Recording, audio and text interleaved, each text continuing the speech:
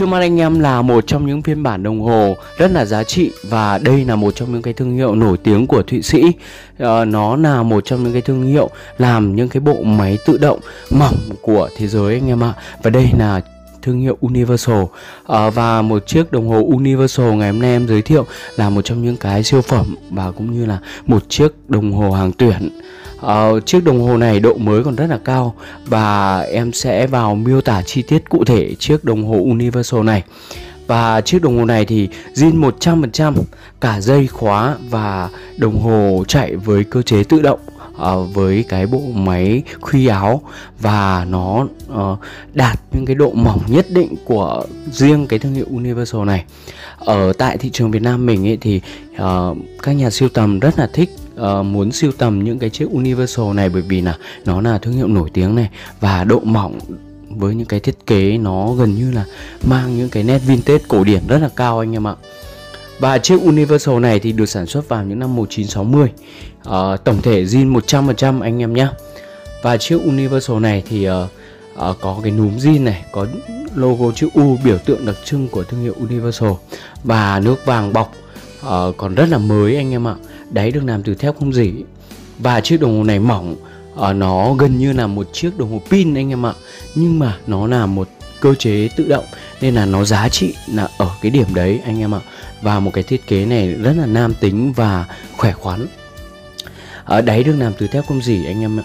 Và cái đáy này còn mới kính cong chưa làm lại chưa spa và zin 100% đây là một trong những cái phiên bản đồng hồ rất là giá trị và rất là khó ờ, mình mới sưu tập về ở bên nước ngoài anh em ạ.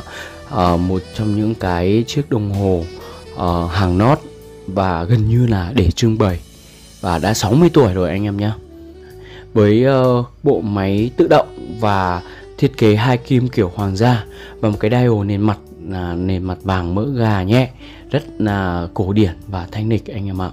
Và một cái thiết kế này uh, giống như những uh, form dáng Omega 4300 Đấy. Uh, nhưng mà nó cán mỏng ra nhìn nó rất là đã anh em nhá. Và chiếc đồng hồ này chạy với cơ chế tự động khuy áo. Và tiếp theo thì anh em sẽ được chiêm ngưỡng bộ máy. À, và chiếc đồng hồ này ngoài cơ chế tự động ra thì nó có hỗ trợ thêm có tay anh em ạ.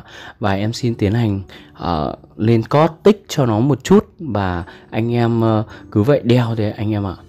Và anh em cùng chiêm ngưỡng uh, em rút ra uh, chỉnh giờ. Nó cũng rất là dễ sử dụng rồi anh em ạ. Và lịch ở vị trí 3 giờ thì cứ 12 giờ đêm là nó sẽ nhảy anh em ạ.